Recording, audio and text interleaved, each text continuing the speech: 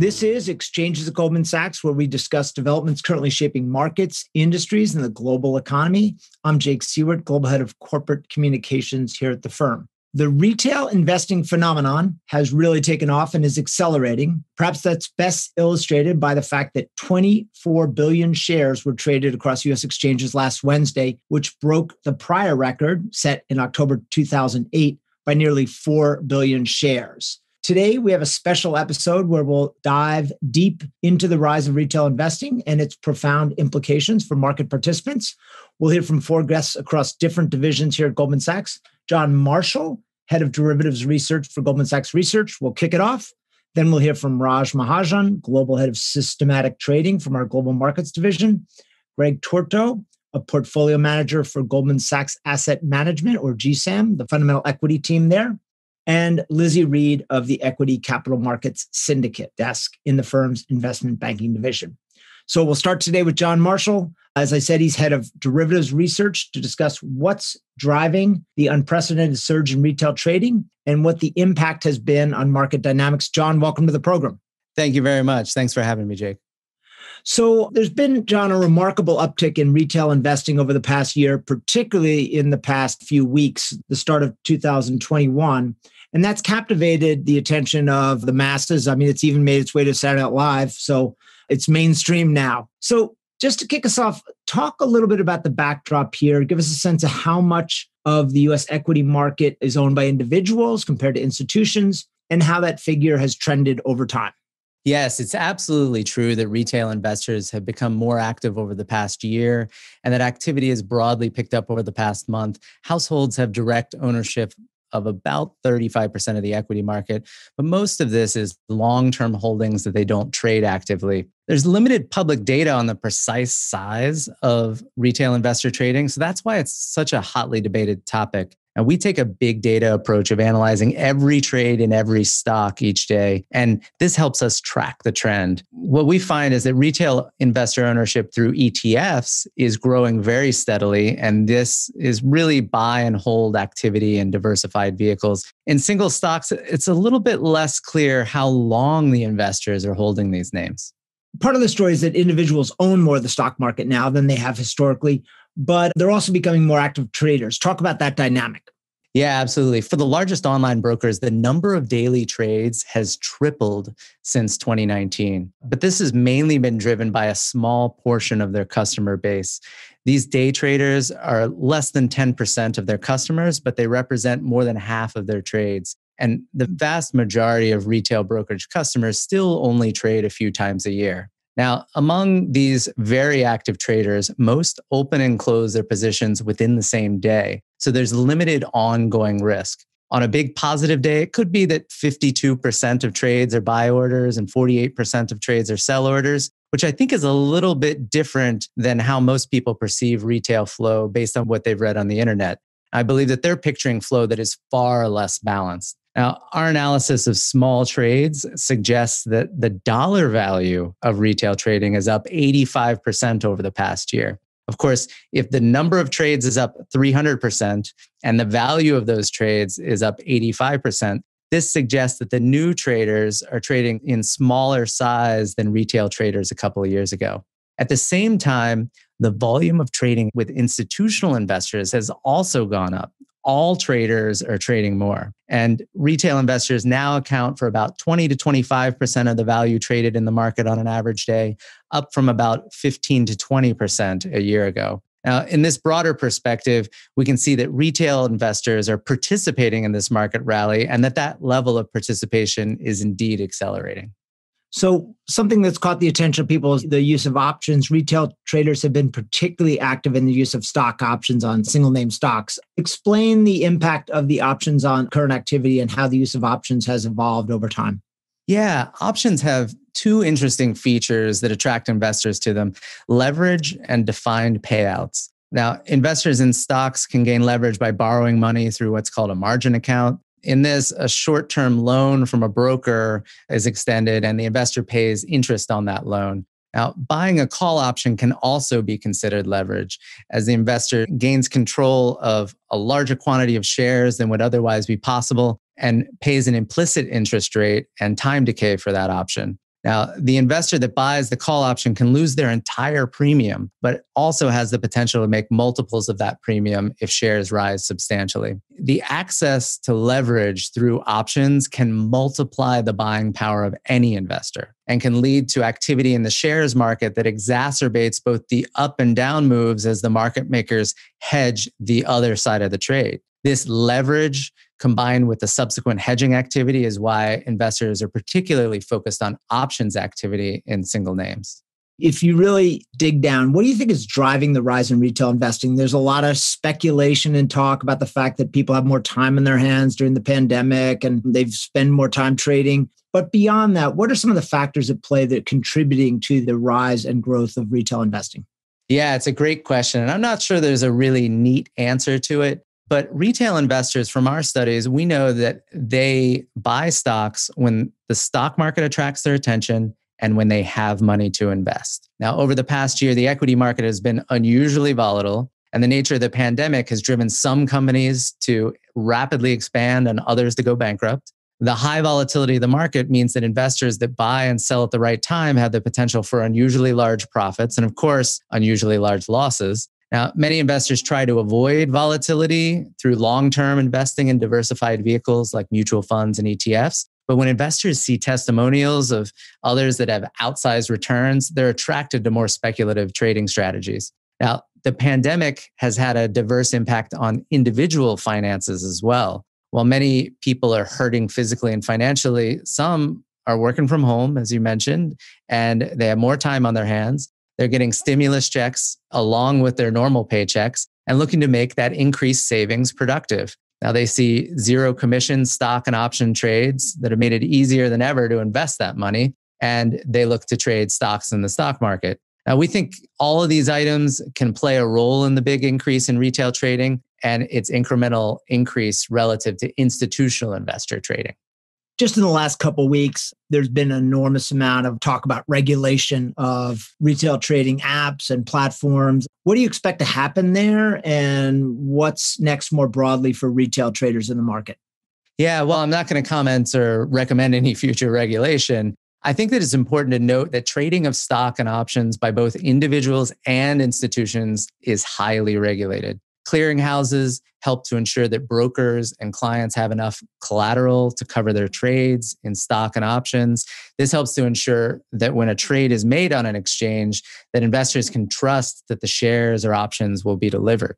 Now, when stock and options are highly volatile over a short period of time, it's in the interest of all market participants that these regulations are followed. While this can lead to situations where stock and option trading is intentionally slowed down, like trading halts when a stock drops too rapidly. These rules have developed over time to help ensure the markets function correctly, even when they function a little slower than people would like.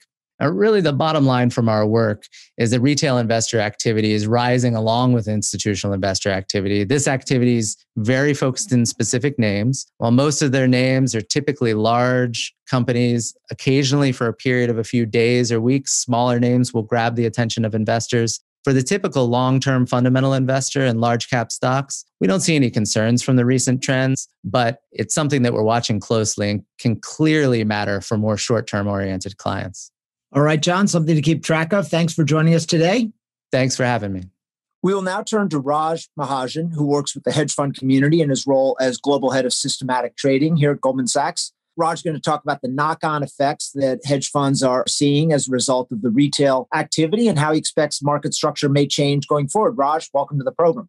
Hi, Jake. It's good to be here.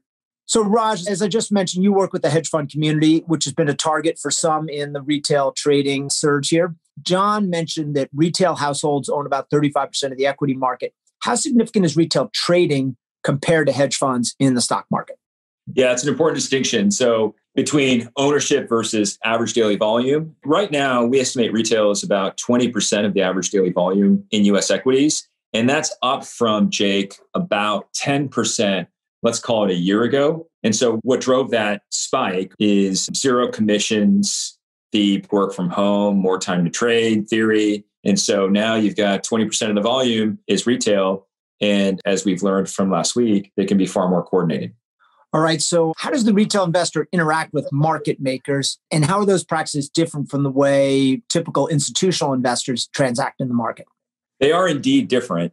Retail orders are routed to market makers, and then market makers act as either internalizers, meaning that they may get a buy order from a retail institution and they may get a sell order and then match them up.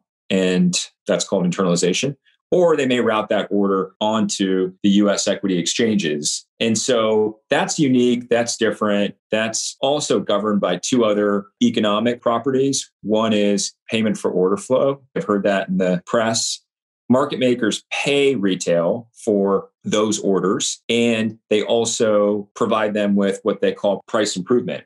Okay, so hedge funds that follow sort of long short fundamental strategies were the ones that were most affected initially by the recent price action volatility and forced to cover some short positions. How does that affect the outlook for hedge funds that follow long short strategies? And beyond that, are you seeing any impact in the systematic hedge fund community? The short answer is yes, there's definitely an impact. And I'd say last week was historic in that the volume of activity that we saw around short covering was significant. I think the bigger question now relates to the earlier questions about retail is if you're a hedge fund and you're engaged in the practice of shorting and that's part of your business model, you're running a long book and a short book and you're relatively balanced, you had a certain view of how much risk any single name short position could be. But what we learned last week is that the risk models didn't contemplate a 10x move in the short against you or a 20x move in the short against you. So I think what for hedge funds, what this is triggering is, you know, how do I have to evolve my risk models to ensure that the shorts that I'm putting on are, in fact, I've figured out how bad it could run against me. And that's one of the things that sort of jumps off the page when you start to look at this. And I think those are questions that are being asked in hedge fund circles right now is how do we evolve the practice of shorting in light of what happened last week? And it's probably too soon to tell exactly how that's going to shake out. All right, Raj, well, we'll have you back in a few months and we'll see how the landscape has evolved and what conclusions we can draw from this past month. But thanks for joining us today. No, it's awesome. Thanks, Jake. Next up, we're going to switch gears to discuss the implications for investors who favor a more long term approach. To do that, I'm joined by Greg Tuorto, a portfolio manager in Goldman Sachs Asset Management focused on fundamental equity. Greg's going to talk a little bit on his perspective on the impact on the institutional investing community and what comes next. Greg, welcome to the program. Thanks, Jake. So, in your role as a portfolio manager, you obviously focused on longer term returns, but you can't help but have seen the impact in the mutual funds that you're managing of the retail boom. Describe the impact that retail trading activities had on funds and ETFs. Yeah, Jake, it's really interesting. My focus is on smaller cap companies, you know, those under, you know, 15 billion dollars in market value, and it's really unique because that's not usually where you see the interest from people focused in on. It's usually in some of the larger names, you know, some of the larger cap growth names which had been you know the stars of the market for the last few years had been where people expected most of the retail interest to be so you know in the impacts that we've seen it's been pretty interesting it's you know it's been focused on a lot of the consumer names especially some of the ones that have been seen as structurally challenged. Some prior to the pandemic and some because of the pandemic had had increased structural challenges and you watched a lot of those dynamics start to change and you know some companies had seen a bit of a recovery others had not and it seemed to be that's where the ones that the retail dynamic had really been focused on and for us hadn't been a real acute issue for the most part as you know we're on the growth side of things and you know a lot of these companies have been really more classified in value as they say but it's something you had to pay attention to to make sure you know because the risks around you had started to rise and the market is very interconnected as you know and you had to make sure that your risk bets that you were taking were ones of conscious not of bets of you know kind of just letting things sit out there. So, Greg, one thing that's been a little bit unusual about this rally is the speed at which individual investors have driven up the price of some of these stocks that you were talking about and certainly the role that social media has played driving that momentum. Describe for us the difference between that approach and the investment approach that an institutional investor like yourself takes. Yeah, it's been interesting. The social media aspect of this reminded me of my you know, earlier stages of my career in the Yahoo message boards, which people paid a lot of attention to back in the day. And it's been sort of a unique aspect as these people tend to share ideas and and share their pitches, you know, which is the exact thing that they get upset, you know, with some of these hedge fund managers when they come on TV and talk about those things. So it's whichever way you're sitting, you know, the one dog goes this way, the other dog goes that way from Goodfellas line in many of these instances. And, you know, I think that the market has, especially in some of these smaller names, shown its inefficiency. And I think that that's something that we try to take advantage of in fundamental equities, especially on the small cap side. But I think that for a lot of these retail investors, these smaller investors, I think they're looking at it more along the lines of, you know, kind of a price equivalency, you know, which is a little bit different than what we do. I think, you know, ours is more focused on, you know, kind of the revenue earnings and free cash flow of a company and what we can model out. And I think that, you know, sometimes when we see something that's sort of left for dead, as some of these names have been, you know, we leave it there. We don't pay a lot of attention to it. And I think that for them, that was an opportunity. And I think that that opportunity created sort of that heat and noise, the Sturm und Drang, if you will. It really attracted more and more of them. So, some of the moves in the prices of individual stocks have been eye popping and somewhat reminiscent of uh, the dot com boom in the late 90s, 1990s, that is. Do you see any similarities or differences between those two periods? I don't per se because I think that they were, you know, in many cases, you know, I think a lot of those companies that had those big moves were IPOs.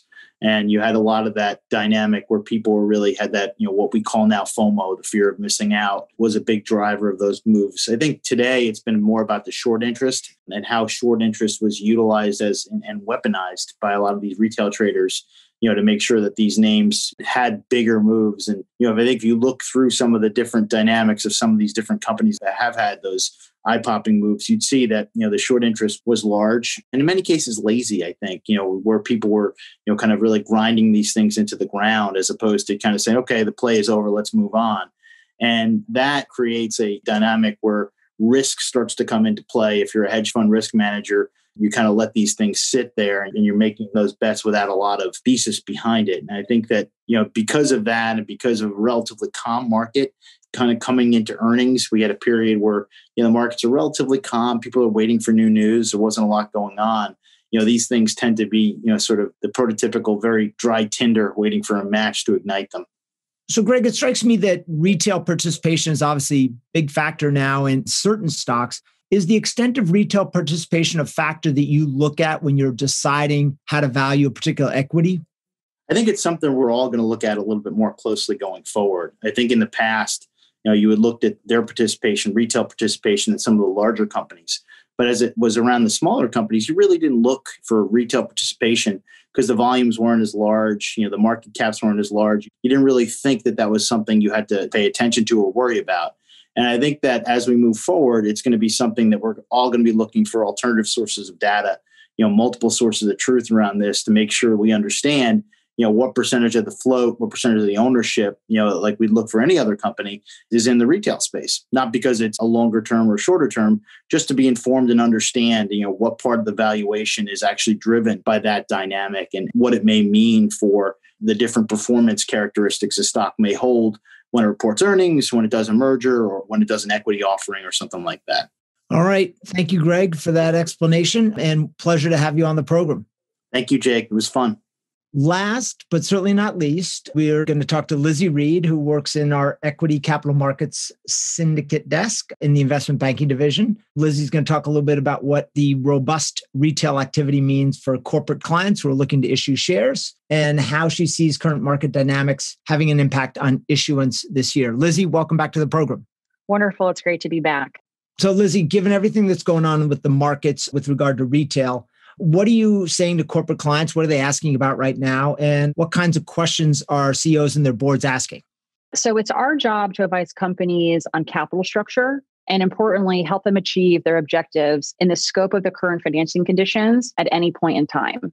So, naturally, given what we're all observing in markets in the past week or so, we received inbounds from corporates, the sponsor and VC community, as well as institutional investors. Some of these inbounds are specific to corporates who have been impacted by recent retail trading activity, and we work closely with them across their capital structure and within equities across their full suite of product offerings. While other inbounds are more generic in nature. A common question we are asked is how long will this technical last within the markets and what is the long term impact? And quite frankly, Jake, there are still a lot of earnings to learn from, and as the market remains very, very fluid. The one thing we are telling all of our clients is retail flows and retail sentiment is something that we will all have to closely monitor in the coming weeks and months.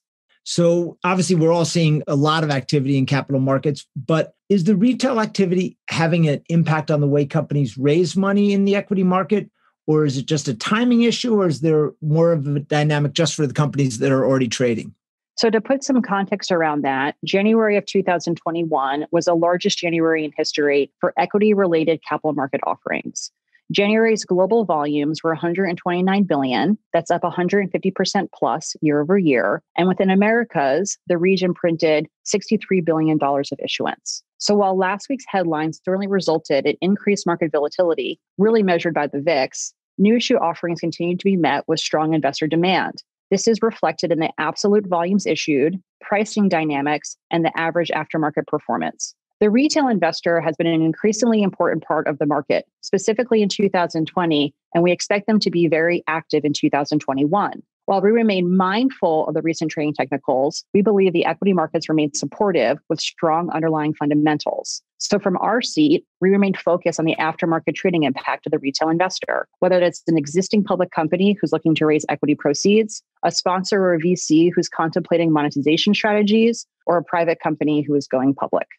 All right. So, so far, activity begets more activity. Before we close out, let's look ahead. How do you see the current market dynamics having an impact on issuance windows going forward? So, all the themes, Jake, that we highlighted in the second half of 2020 continue to ring true. So, an accommodative Fed policy, the support of local governments, vaccine optimism, a low interest rate environment, and importantly, positive inflows into the equity asset class during the start of a strong earnings season. With all of these combined, we view the window for issuers remains open and we anticipate activity levels to remain robust throughout the course of the year. All right, Lizzie, sounds like you'll have a busy year ahead of you. Thanks for joining us today. Thank you very much, Jake. I appreciate it. All right. And thanks to our other guests as well John, Raj, and Greg. Fascinating discussion. That concludes this episode of Exchanges of Goldman Sachs. Thank you for listening. And if you enjoyed the show, we hope you subscribe on Apple Podcasts and leave a rating or a comment. And please tune in later in the week for our weekly markets update for more on the latest in markets. This podcast was recorded on Monday, February 1st, and Tuesday, February 2nd in the year 2021. Thanks for listening.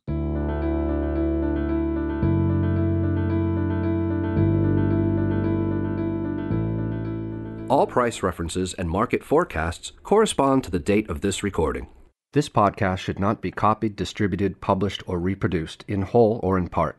The information contained in this podcast does not constitute research or a recommendation from any Goldman Sachs entity to the listener. Neither Goldman Sachs nor any of its affiliates makes any representation or warranty as to the accuracy or completeness of the statements or any information contained in this podcast, and any liability therefore, including in respect of direct, indirect, or consequential loss or damage, is expressly disclaimed. The views expressed in this podcast are not necessarily those of Goldman Sachs, and Goldman Sachs is not providing any financial, economic, legal, accounting, or tax advice or recommendations in this podcast. In addition, the receipt of this podcast by any listener is not to be taken as constituting the giving of investment advice by Goldman Sachs to that listener, nor to constitute such person a client of any Goldman Sachs entity.